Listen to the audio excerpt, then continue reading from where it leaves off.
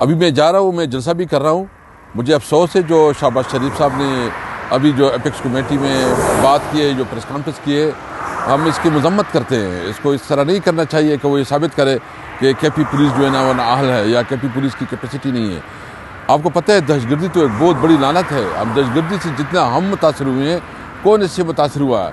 लेकिन सवाल ये है कि जो हमारा दौर था, इसमें हमने दहशतगर्दी के ऊपर कितना मौसर काबू पाया था। कितनी धमाके हुई हमारे दौर में, कितनी ड्रोन अटैक हुई हमारे दौर में, कितनी जो है ना खुदकश है हमारे दौर में। अल्हम्दुलिल्लाह, हमने तो उसको बिल्कुल काउंटर किया था। हमारी स्ट्रेटजी और हमारी पॉलिसी कामयाब रही।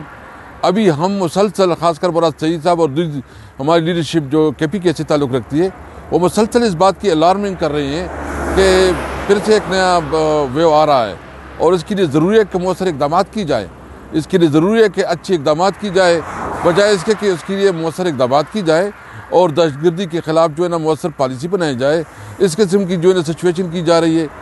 और साथ साथ जो है ना फिर मुल्क में इस किस्म की एक सिचुएशन बनाया जा रहा है कि जहाँ शायद ये फाशिस्ट ज़्यादा इनका इस वक्त रवैया है और अपनी मुखालिफ के ख़िलाफ़ जो है क्रैक डाउन और सब कुछ कर रही है, जबकि मुल्क पे खून की होली खेली जा रही है। आपने के पी के के फंड रोके और के पी के के इस वक्त सिर्फ़ पाँच जनवरी तक जो है ना 230 बिलियन रुपीज़ जो है ना, वो इस वक्त अदा करने हैं। मैं कहता हूँ, बिल्कुल हम कौमी यजहती के लिए तैयार है।